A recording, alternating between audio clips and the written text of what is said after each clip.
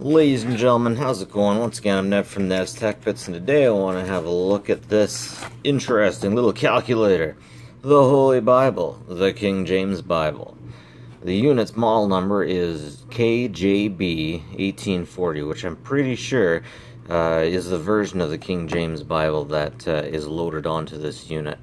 Now, this thing takes four AAA batteries, and Man, there's something to be said about this little kind of technology that's not attached to a smartphone, that actually has physical keyboards. That LED screen. You can do a lot with this thing, kind of interesting. You can search for stuff. The first thing I used to search for was unicorns. Because the early version, the early version of the King James Bible actually had unicorns in, in it. Which is really funny because once I got in trouble in my Christian school for bringing in a picture of a unicorn to give to this chick I liked.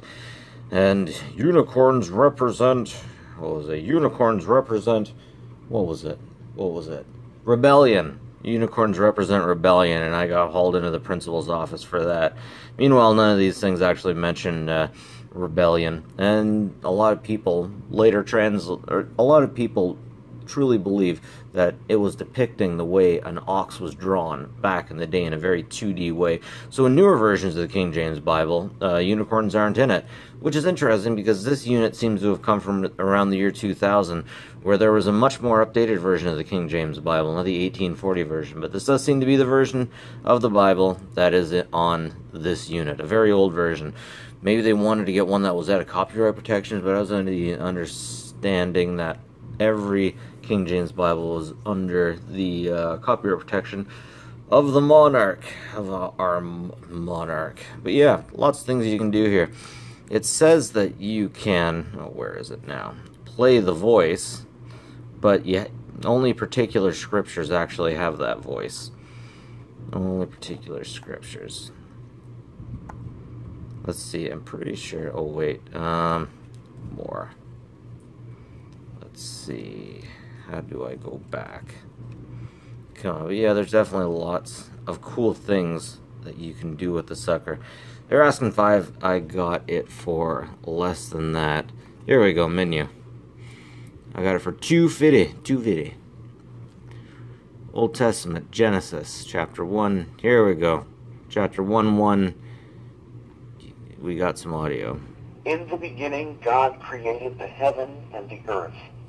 And the earth was without form and void, and darkness was upon the face of the deep.